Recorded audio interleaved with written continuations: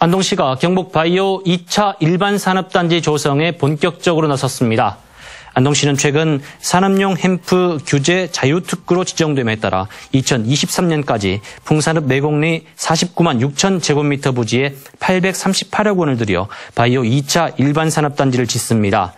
안동시는 바이오 2차 산업단지를 완공하면 경제 파급 효과가 취업 유발 544명, 생산 유발 811억 원, 부가가치는 291억 원에 이를 것으로 기대하고 있습니다.